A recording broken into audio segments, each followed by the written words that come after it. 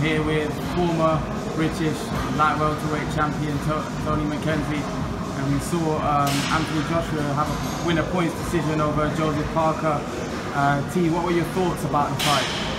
Well, first of all, the fight never reaches expectations of what the two men should be able to do at one level. Um, they're both world champions. Um, as for Parker, Parker couldn't get into the fight. He, although he was a lot quicker with his hands, speed, and but he found the tallness of uh, Joshua's using his jab and occasionally right hand, which never really connected. But uh, at the end of the day, I mean, people want to see a, a good team fight. Um, that fight was, um, it didn't bring no excitement to it. I mean, rather, you won't lose no sleep over watching the fight like this.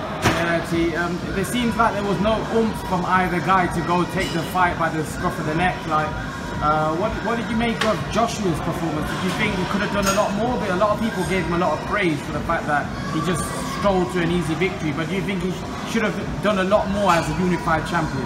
Yeah, as a unified champion, he should be using all both hands, you know, left, right, one, two, because I mean, being a taller man, he had the longer, long, obviously the longer reach, which was um, always in um, Parker's face, the jab.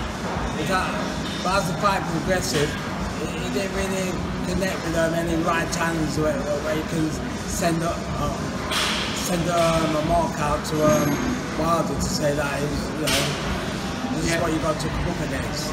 Do you do you think that was because Parker was really elusive, or do you think that was that was Joshua's game plan just to jab them? Because Joshua normally doesn't fight. He normally doesn't fight uh, like that. He likes to knock people out. So do you think it was by plan, or do you think it was just Parker very awkward?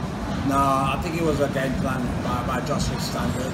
You know, he, he trimmed down, came down in the 17 stone on. So um, he had the intentions of going 12 rounds, stick, stick, stick a move, jab a move, and that was the game. But you know what, Tarka fight, you gotta let your punches go. You know, the, the public wants to see a, a, great champion, you know, with action in the fight. I mean, the fight previous to that, with um, David Price, was uh, more exciting. You know what I mean? I mean, although he got knocked out, um, he, he gave his, you know, gave it all.